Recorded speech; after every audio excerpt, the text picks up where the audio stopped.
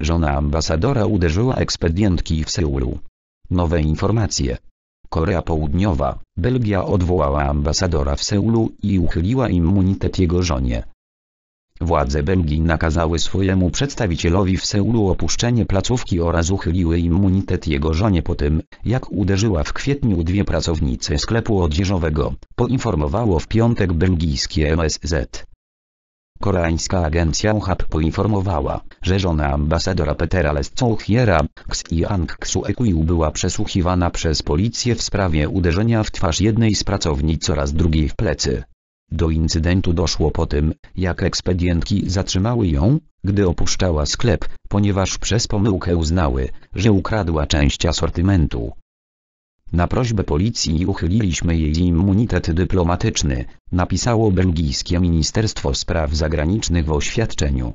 Dodano też, że w świetle tego zdarzenia Leso Uchier, który jest przedstawicielem Belgii od czerwca 2018 rok, nie może sprawować swojego stanowiska w spokojny sposób.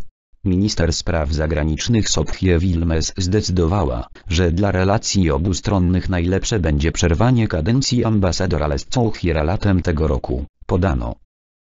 Ministerstwo Spraw Zagranicznych Korei Południowej na pytanie koreańskiej agencji prasowej, czy uchylony immunitet dyplomatyczny Xiang Xuekuiu będzie oznaczał dla niej postępowanie karne, odpowiedziało, że rozumie, iż immunitet nie obejmuje kroków, które następują po dochodzeniu policyjnym, takich jak proces i kara.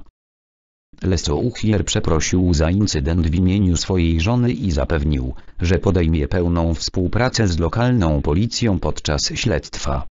Jego post opublikowany na Facebooku spotkał się jednak z publiczną krytyką. Uznano, że przeprosiny te są nieszczere, a oburzenie wzbudził fakt, że żona ambasadora nie zrobiła tego osobiście.